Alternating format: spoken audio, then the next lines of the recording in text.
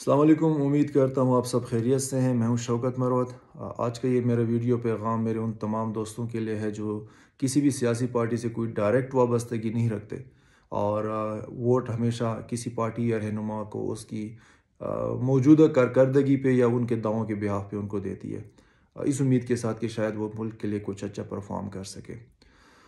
दोस्तों जब हम कि कभी भी कोई सियासी रहनुमाओं की बातचीत सुनते हैं अगर हम उसमें स्पेसिफिकली करंट सीनेरियो की हम बात करते हैं तो दो टर्मिनोलॉजीज़ वो बहुत ज़्यादा, दो वर्ड्स बहुत ज़्यादा इस्तेमाल करते हैं। मुल्क की मीशत और मुल्क की सालमियत। अपनी पार्टी की तारीफ़ में इन दो वर्ड्स को बहुत इस्तेमाल करेंगे और दूसरी पार्टी की जब उन्होंने किसी भी किस्म का इल्ज़ाम तराशी करनी हो तो इन्हीं दो वर्ड्स का इस्तेमाल करते हैं कि इन दो शोबों में मुल्क का दूसरी पार्टियों ने या दूसरे नुमाओं ने कितना नुकसान किया है। आ, मेरे साथियों बात यह है कि आ, अगर हम मुल्क की मीशत की बात करते हैं पीछे कई कई दहाइयों को लेके और इसमें फिर करंट हुकूमत की भी जो परफॉर्मेंस है उसको भी उसी के अंदर ही शामिल कर लें तो इन तमाम परफॉर्मेंसेस के और इन तमाम हालात को देखते हुए तो मेरा ख्याल है कि अगले भी फिर आगे अगर आप कोई चार पाँच साल लेके चले जाएँगे या छः सात, आठ साल तक या दस साल तक इवन मतलब जिस तरह ये हालात चल रहे हैं और ये जो रहनुमा चल रहे हैं तो मेरा नहीं ख्याल कि बंदे को कोई बड़ी उम्मीद रखनी चाहिए कि कोई भी जो अभी करंट सीनेरियो में जो हालात चल रहे हैं कि पता नहीं अगले 24 घंटे में नहीं पता चल रहा होता और लोग अपना खून जला रहे होते हैं कि पता नहीं हुकूमत का क्या हो जाएगा और इन्हीं दो टर्मिनोलॉजीज़ का इस्तेमाल कर, करके तो रहनुमा हमारा खून जलाते हैं कि अगर ये हुकूमत रह जाती है तो इन दो शोबों में मुल्क का क्या जो है नुकसान हो जाएगा। और अगले कहते हैं अगर हुकूमत चली जाएगी तो पता नहीं क्या नुकसान हो जाएगा। बात यह है कि इन तमाम पीछे हमारी जो हिस्ट्री चलती रही है और जो करंट हमारी हिस्ट्री है तो मेरे दोस्तों, मुझे नहीं लगता कि हमें किसी भी तरीके से मुल्क की मीशत की फ़िक्र करनी चाहिए। न तो कोई रहनुमा के जाने का हमें गम करना चाहिए, न किसी रहनुमा के आने की हमें खुशी मनानी चाहिए। न किसी रहनुमा के जाने की हमें खुशी मनानी चाहिए, न किसी आने का हमें जो है वो गम मनाना चाहिए, क्योंकि तमाम वही लोग हैं और मुल्क की मीशत पे ज़रा बराबर भी कोई फ़र्क नहीं पड़ना।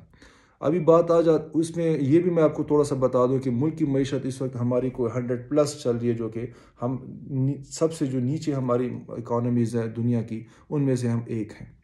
हम सबको पता है, नेट का दौर है, बंदा सर्च कर सकता है। दूसरा वर्ड आ जाता है मुल्क की सालमियत का। तो मेरे साथियों, मेरा ख्याल है ये हमारी शायद बदकिस्मती भी है और खुशकस्मती भी, कि इस वर्ड का इन सियासी रहनुमाओं के साथ कोई ताल्लुक़ नहीं है।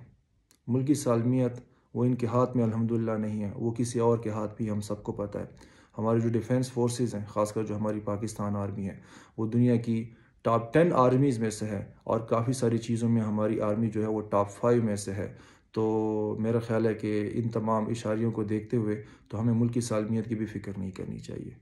काज वो किसी ऐसे इदारे के हाथ में है अगर खुदा न खास्ता वो वक्त आता है तो उनका काम, अपना काम बेहतरीन तरीके से आता है। और वो फिर ये नहीं देखेंगे कि इस वक्त किसकी सालमियत को ख़तरा है तो किसकी जमहूरीत को ख़तरा है तो किसकी हुकूमत को ख़तरा है? वो सिर्फ़ ये जानते हैं कि इस वक्त हमारे मुल्क को ख़तरा है और मुल्क के लिए मरना भी जानते हैं और मारना भी जानते हैं। तो आप सबसे गुजारिश ये है कि रोज़े रखें, न मुल्क की मीशत की फ़िक्र करें, उसको कुछ हो नहीं सकता और, न मुल्क की सालमियत की फ़िक्र करें कि इसको इन कुछ होने नहीं दिया जाएगा। तो बस अपनी कैपेसिटी में मुल्क के लिए जो कुछ कर सकते हैं वो करें।